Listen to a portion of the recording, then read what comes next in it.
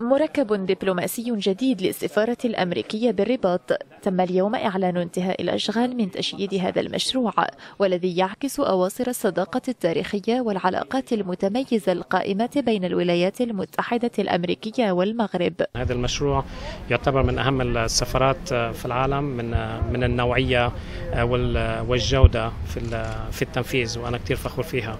كما ذكرت في السابق المشروع كان لازم ياخذ ثلاث سنوات. أخذ معنا سنتين وثمان شهور وفرنا أربع شهور بسبب العلاقة الحميمة يلي مع مع الحكومة الأمريكية مع مع الحكومة المغربية ومع الولاية والبلدية وال وال urban development كان في عندنا كثير تعاون. المركب الجديد الذي تم وضع الحجر الأساس لبنائه في فبراير سنة 2012 يجمع بين الأصالة والمعاصرة المعمارية ويأخذ بعين الاعتبار باعتبار احترام البيئة وتم الانتهاء من تشييده قبل أربعة أشهر من الأجال المحددة له في ظل التعاون الذي أبدته السلطات المغربية مع مصالح السفارة. نحن جد سعداء بتشييد هذه البناية.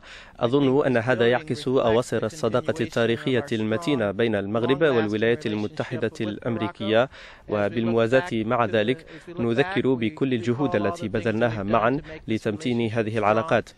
ونتوقع التزاما من طرف زملائنا هنا بالسفارة لتعزيز العلاقات الثنائية أكثر بين البلدين. البناية التي تتكون من ثلاثة طوابق تم تزيين مختلف واجهاتها بالعديد من المواد من صنع مغربي كالزليج والرخام كما أن بناء المركب اعتمد آخر التكنولوجيات في مجال احترام البيئة بما أن المياه العادمة تتم إعادة تدويرها بعين المكان وتراعي عقلنة استهلاك الطاقة.